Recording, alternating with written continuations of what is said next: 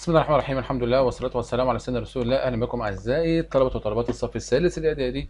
معكم مستر طلعت الغيطي من قناة ذاكر لي حساب وماس النهاردة إن شاء الله آه، هنبدأ آه، ناخد آه، برضو تكملة درس الهندسة اللي هو بيتكلم عن البعد بين النقطتين وده آخر حصة فيه.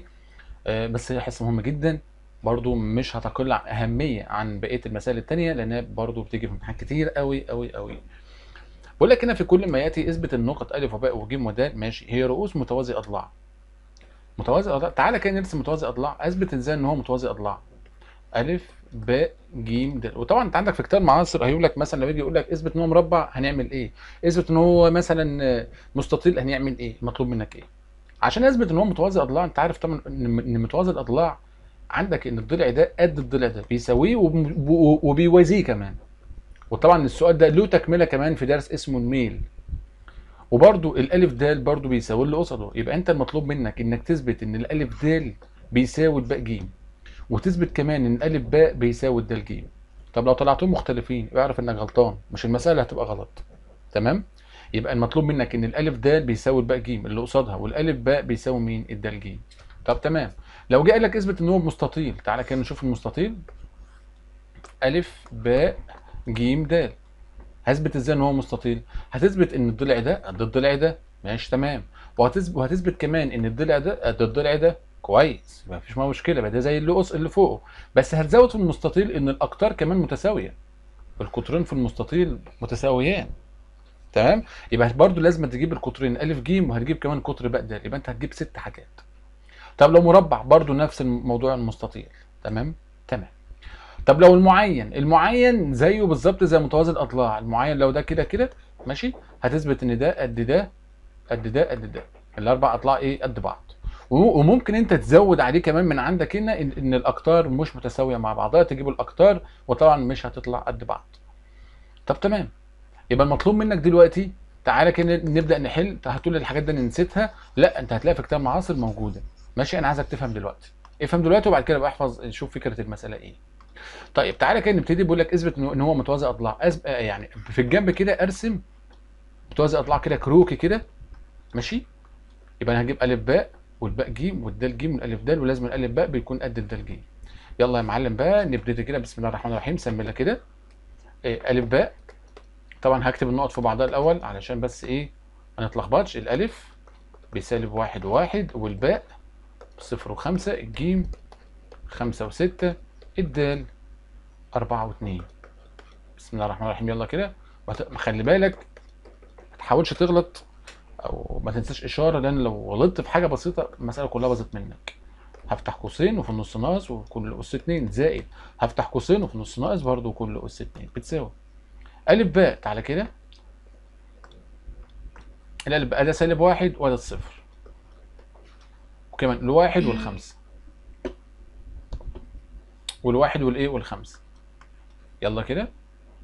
عايز تعمل حزم ماشي تعالى يلا نعمل الحزم. اهو جذر أفتح قوس. إيه، سالب واحد زائد صفر. القوس والكل واقول له اس اتنين زائد. طبعا هنا إحنا عملنا غلط. اللي بقى كان المفروض ناقص. ناقص. ناقص الصفر. أفتح قوس واقول له اس اتنين زائد. أفتح قوس وأقول له واحد ناقص خمسة. وأقفل القوس وأقول له كل أس اتنين. بتساوي جذر 17 بتساوي كام؟ جذر إيه؟ 17 طب تعالى بقى نشوف الباقي جيم الباقي جيم أهوت. نص ناقص أس 2 زائد أس 2 تعال نشوف الباقي جيم صفر وخمسة. وبعد كده خمسة وستة خمسة وستة تمام؟ خمسة وعشرين أهوت. كده.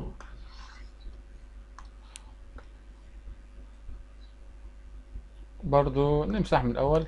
له جذر أفتح قوس. واحد ناقص خمسة. هنا في ناقص ثانية واحدة كده. إحنا قلنا باء جيم صح؟ صفر. ده صفر ناقص خمسة. صح. إحنا غلطنا كده. صفر. صفر ناقص خمسة. الكل أس اتنين زائد أفتح قوس خمسة ناقص ستة وأفتح قوس وأقول له أس اتنين بتساوي جذر ستة وعشرين. هجيب كمان طول مين؟ الألف ج أو الجيم د الجيم د خمسة ناقص أربعة برضو ستة ناقص اتنين. كذا كده أفتح قوس ونص ناقص الأس اتنين أفتح قوس أس اتنين. الجيم د خمسة ناقص أربعة وستة ناقص اتنين. تعالى كده يلا. جذر خمسة ناقص أربعة وأفتح قوس وأقول له أس اتنين. زائد أفتح قوس وأقول له ستة ناقص اتنين وأفتح قوس وأقول له أس اتنين. بتساوي جذر سبعتاشر. جذر إيه؟ سبعتاشر. طبعا هتكتب جنبها بقى وحدة طول لسه بعد كده أقول له الألف د أهوت أفتح قوس نص ناقص أس اتنين. الألف د تعالى كده نجيب أرقام الألف د أدا الألف ولا الدال. السالب واحد مع الأربعة والواحد مع الاتنين. هتيجي تبص هتلاقي مطلعها كام؟ 26 خلاص؟ أقول له إذا تعالى بقى شوف بقى مين بقى متساوي مع بعض أهو. الألف باء بجذر 17 وعندك الجيم د بجذر 17 أقول له بما أن الألف باء بيساوي الجيم د والتانيين بقى التانيين اللي هما من الألف د هيساوي مين؟ الباء جيم. بتساوي ده بتساوي جذر 17 وده بتساوي جذر 26 أقول له اذا الشكل ألف بقى والجيم وده مالهم متوازي. أطلع. بس كده. يبقى أنت بتجيب الأطوال. يبقى أنت بتجيب الأطوال. ما فيش فيها أي حاجة صعبة. وطبعا لازم تثبت إن هم إيه؟ بيساووا بعض أو قد بعض.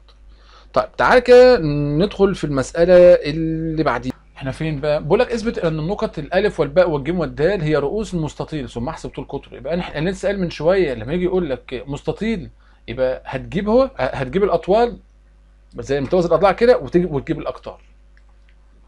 تعال عشان المسألة دي طويلة شوية الألف بصفر وواحد الباء بأربعة وخمسة الجيم بواحد وثمانيه الدال سالب ثلاثة وإيه؟ وأربعة.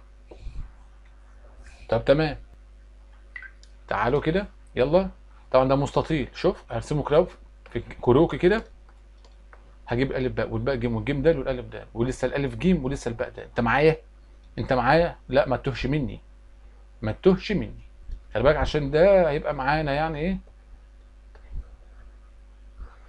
يلا. أقول له كده الألف باء بتساوي جذر أظن أنت عارف طبعا أنا بعمل إيه. اللي معايا من أول درس ومتابع معايا عشان لو حد لسه بيتفرج عليا اول وقت دلوقتي لأ عدى على الدرس الأولاني وهتعرف إحنا بنعمل إيه. الألف باء صفر ناقص 4 كل اس 2 وواحد ناقص 5 وهنطلع اجابتها دلوقتي. الباء ج تعالى كده أهوت. هعمل بس قوس وفي نص ناقص لكل اس 2 وقوس وفي نص ناقص لكل اس 2 تعالى كده الباء ج 4 ناقص 1 و5 ناقص 8 تعالى نجيب الجيم د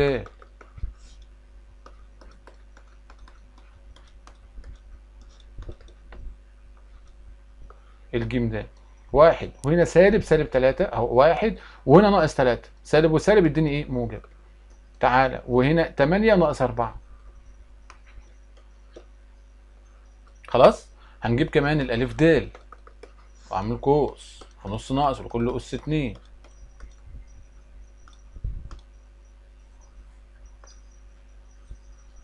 هنا أس إيه؟ اتنين. الألف د تعالى كده. أدا الألف وده الدال. صفر هنا سالب تلاتة. سالب وسالب يديني إيه؟ موجب. طيب بعد كده واحد وناقص أربعة. ماشي. لسه هنجيب إيه كمان؟ خلي بالك لسه هنجيب الألف جيم والباء د تعالى نجيب الألف جيم والباء د أهوت نص ناقص زائد. الألف جيم ركز معايا. هنغير اللون دوت. الألف جيم ألف جيم أدي الألف وده الجيم. صفر ناقص واحد وواحد ناقص تمانية.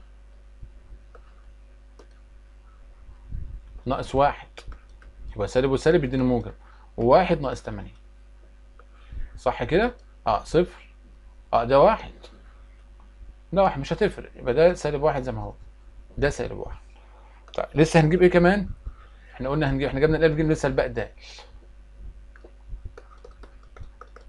اهوت افتح قوس وفي نص ناقص كل اس اتنين. أربعة سالب سالب تلاتة. اهوت هنا أربعة وهنا سالب تلاتة. سالب وسالب يديني إيه؟ موجب. وعندك إيه كمان؟ خمسة ناقص أربعة. يلا بقى. يلا إيه؟ يلا بقى نطلع النواتج. تعالى كان ألف باء آه هقول له جذر. صفر ناقص أربعة و... جذر قوس كده. صفر ناقص أربعة كل أس اتنين زائد قوس واحد ناقص خمسة أس اتنين بتساوي أربعة جذر اتنين. يبقى ده المفروض أربعة بإيه؟ جذر اتنين. طب الباقي برضو جذر. افتح قوس أربعة ناقص واحد الكل أس اتنين. زائد افتح قوس خمسة ناقص تمانية قايل له إيه كل أس اتنين. تلاتة جذر اتنين. الجيم دال جذر افتح قوس واحد زائد تلاتة الكل أس اتنين. زائد قوس تمانية ناقص أربعة والكل أس اتنين.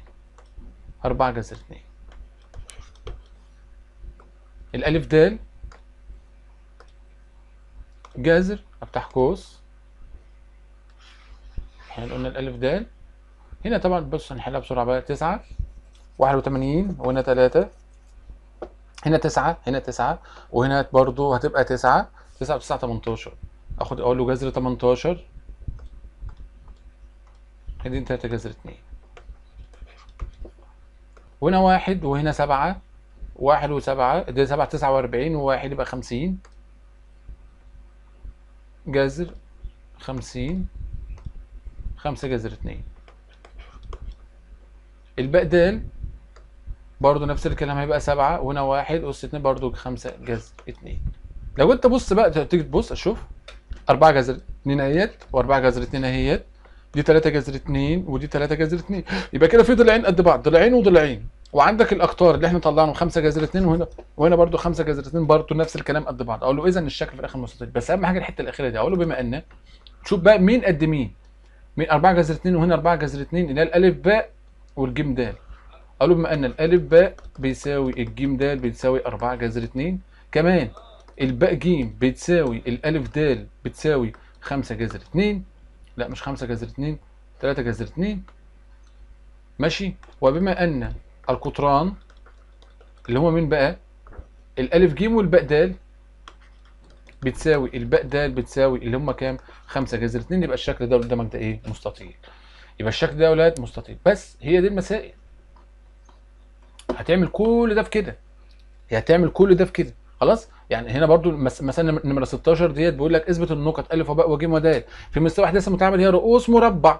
مربع هتعمل إيه؟ هتلاقي في كتاب معاصر لو أنت نسيت مربع هتلاقي الأضلاع كلها قد بعضها. تثبت الأضلاع كلها قد بعضها وتجيب القطرين كمان. لازم لازم القطرين يبقوا قد بعض. واحسب طول قطر إحنا جبنا طول القطر. ومساحته مساحة المربع بيقول إيه؟ نص في القطر في القطر. أو طول الضلع في نفسه. طول الضلع دوت اللي أنت هتجيبه دوت في نفسه. ماشي؟ الف بقى جيم ده شكله رباعي بكذا وكذا. اثبت إن الشكل ده معين. هتلاقي كل ده في كتاب معين أنا بعمل إيه؟ إحنا لسه قلناها. هتجيب الأضلاع تثبت إن الأضلاع كلها إيه؟ متساوية الخارجية. ثم موجد مساحته. يبقى أنت هتضطر لازم تجيب الأقطار. ما دام قال لك مساحته هتجيب القطرين. لأن مساحة المعين بيقول نص في القطر في القطر. اللي هو القطر ده في القطر ده مضروب في النص. كل المسائل دي كده. أنا عايزك تخلصهم كلهم. ما تحلهمش كلهم مرة واحدة عشان ما تملش. وهتلاقي والله العظيم والله العظيم يعني حاجات سهلة جدا وبسيطة جدا. طبعا بمساعدة الاله الحاسبه هتلاقي كل حاجة. الحق الحق تجيب الدرجة النهائية في ثالثه إعدادي في الترم الأول لأن في الترم الثاني بيبقى صعب شوية عشان منهج تقيل. خلاص؟ ولو في أي حاجة سؤال جزئية ممكن تكلمني هرد عليك. هرد عليك إن شاء الله بإذن الله. على خير. والسلام عليكم ورحمة الله وبركاته.